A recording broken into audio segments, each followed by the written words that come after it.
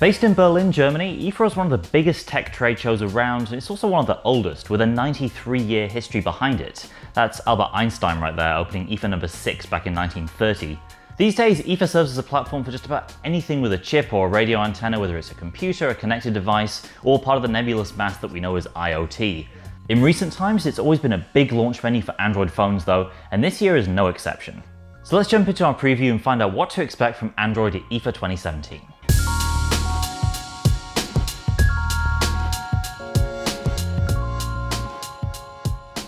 So the biggest, meatiest announcement of the show should come from LG, which is poised to release the V30 as a successor to last year's V20, and also in a way a successor to the G6 as well.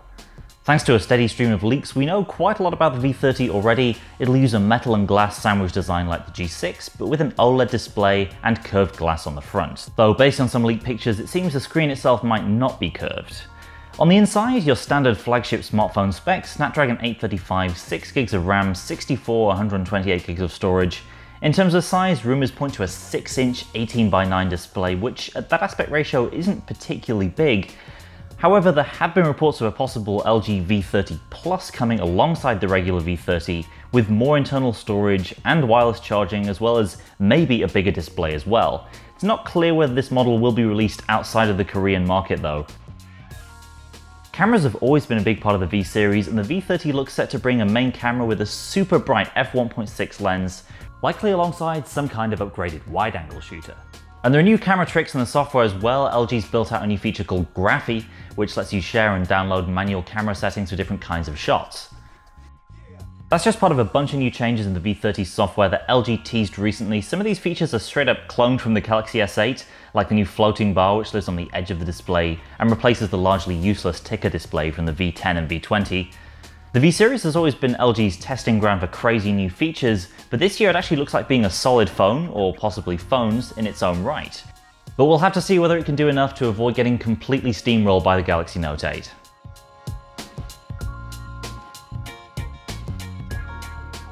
Samsung's going early with the Note 8 this year, which is actually a bit weird because its IFA press conference takes place just a week later in Berlin. In any case, with the Note 8 already announced, we're most likely dealing with new wearables and maybe some other connected gadgets from Samsung. This year it looks like Samsung's bringing it back to fitness wearables. Evan Blass of VentureBeat has leaked details of a Gear Fit 2 Pro, which, as the name suggests, is an upgraded version of last year's Samsung Fitness Band.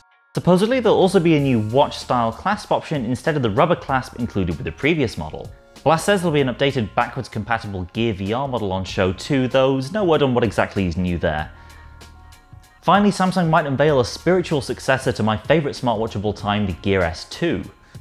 A watch bearing the name Samsung Gear Sport passed through the FCC recently with a backplate almost identical to the 2015 model. No other details here, but expected to be cheaper and more mainstream focused than either the Fit 2 Pro or the Gear S3.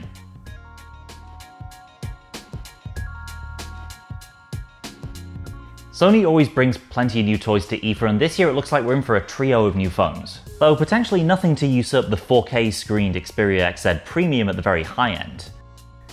Yes, the nightmarish alphabet soup of Sony phone branding continues with an Xperia X1, Xperia XZ1 and XZ1 Compact purportedly coming at IFA according to a report from Android Pit.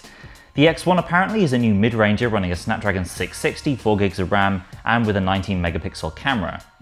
Meanwhile, the XZ1 and XZ1 Compact take the guts of the XZ Premium and downscale them into two smaller sizes. The regular XZ1 is rumored to take that Snapdragon 835, 4GB of RAM and the impressive slow motion camera and bring it to a phone with a 5.2 inch 1080p display, and the Compact as you'd expect from the name supposedly goes all the way down to 4.6 inches also at 1080p. So really not a whole lot to get super excited about here unless you are a fan of much smaller phones, the one glimmer of real interest for me comes from leaked software details suggesting these new Sony phones might actually run Android O out of the box, potentially a first in any new handset, although who knows when any of these will actually go on sale. Lastly, but by far the most important point for anyone in the United States, will this finally be the year that Sony releases a phone in America with a working fingerprint scanner?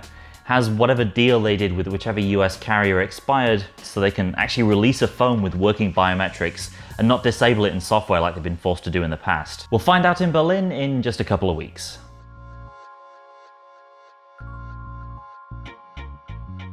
So the BlackBerry Key 1 has been surprisingly well received since it launched in the spring, and BlackBerry is teasing a new limited edition version at IFA.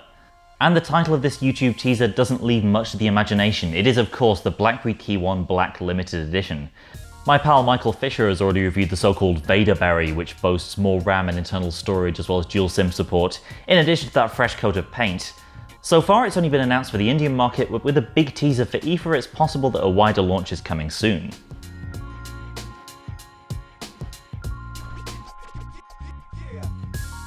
Huawei has a press conference scheduled towards the end of IFA Media Week on September 2nd, but it's not clear if there are any new products coming. Last year at IFA it launched the Nova series, the Nova 2 already arrived in China over the summer, so that is one possibility. But instead, the presentation from CEO Richard Yu is likely to focus on AI and all the new and amazing and sometimes terrifying things that can enable. Maybe new Huawei phones, maybe not. Either way, we're still a few months out from the next big thing from them. That'll be the Mate 10 later in the autumn. So that's what we're expecting from Android at IFA 2017. Stick with us on AndroidCentral.com in the run up to the show, and subscribe to us here on YouTube so you don't miss our videos from Berlin. Thanks for watching, and I'll see you next time.